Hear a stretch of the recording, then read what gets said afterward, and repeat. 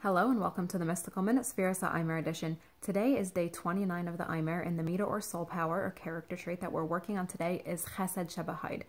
Hod is generally translated as acknowledgement, and from it stems our power of humility, our ability to be humble, to acknowledge a greater reality, um, and to acknowledge a reality that exists outside of ourselves.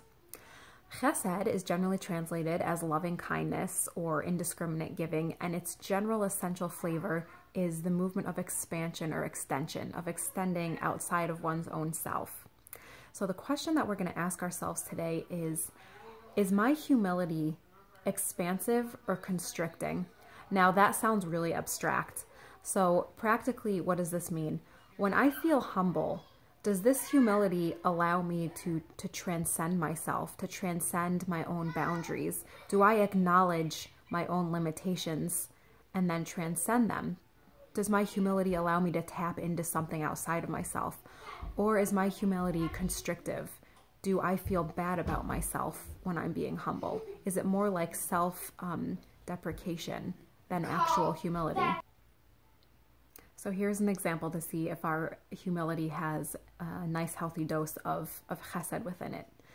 Say that you are meeting um, a great teacher who you have admired for a long time for the first time. You've seen their, their classes, you've heard their lectures, and you're like totally humble. You feel totally humble as you stand in front of them and all of their knowledge and wisdom. Does this humility lead you to connect with them in order to grow to extend outside yourself. Are you able to say like wow i feel i feel totally humble in this moment um, and and you know in awe of the person who stands before you? And then are you then able to reach out to them and say like let's let me take this opportunity to learn from you to become more. You acknowledge your limits in order to transcend them to become more. Or if there's an unhealthy degree of restriction, if there's not a healthy chesed within your humility, um, do you instead stand before them and say like, wow, uh, I'm terrible.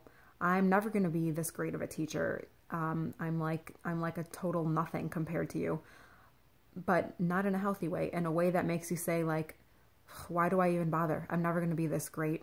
I'm nowhere near as good as this person, and I'm never going to be as near as good as this person. Let me just, I'm just going to give up. So we can check in and say, like, when I'm feeling humble, does this inspire me to transcend my limitations, to have this chesed and, and expansion and going out of myself? Or is my humility restrictive and instead kind of paralyzes me with my own feelings of shortcomings? Have a great day.